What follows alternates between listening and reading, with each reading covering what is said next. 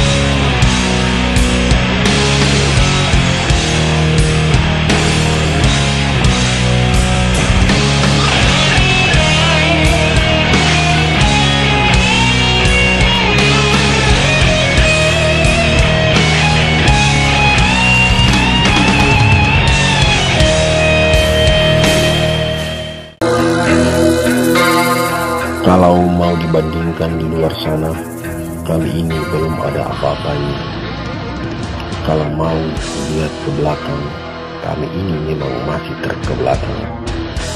Tapi dengan semangat metal yang ada, kami berusaha maju walau tantangan dan halangan selalu datang silih berganti. Metal itu bukan hanya sebuah musik, Metal itu bukan hanya sebuah luapan ekspresi jiwa. Metal itu bukan hanya sebuah identitas.